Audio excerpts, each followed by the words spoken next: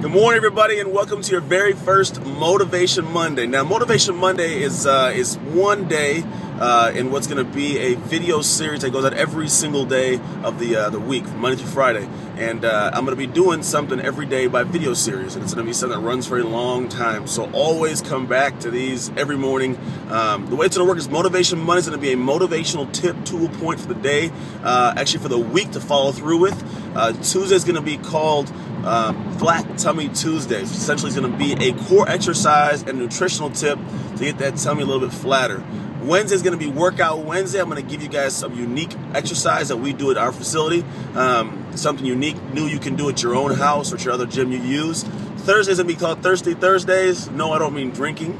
Uh, it's going to be a workout. It's going to be high tempo, metabolic, fast paced. Actually gets you thirsty, reaching for a water bottle. Friday's going to be called Flashback Friday. It's going to be a recap of the week, everything we went through throughout the week, as well as a tip for the weekend to kind of keep yourself accountable for the weekend. So here goes your first Motivation Monday. It's one of my. Uh, I'm going to give you a quote and kind of like follow up with a, a quote and kind of give you my uh, my outlook on it. So the the one that I like to live by, which is a, a, big one. I look at you know big people are successful, make a lot of money if you want to call that success, or you know have good jobs or have big families, whatever you call it, whatever success is for you.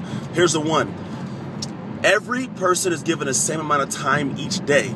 It depends what you do with that time that will make you successful in whatever you choose to do. So a lot of people say, I don't have time for that.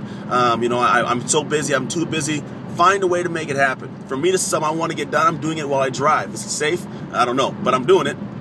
And uh, truthfully, at the end of the day, uh, it, it's something you got to realize that you've got to set aside what you think is important and make that stuff take place. You have to put it in your schedule for it to take place. Your doctor's appointment may not be the most ideal time, but you put it in your schedule, you make it take place because it's important. So if it's something where I got to get up a little bit earlier, or uh, I need to get a little bit more work done, or I got to focus on something a little bit more, find a way to use that time to get it done. Continue to tell yourself it's not going to take place, and it won't take place.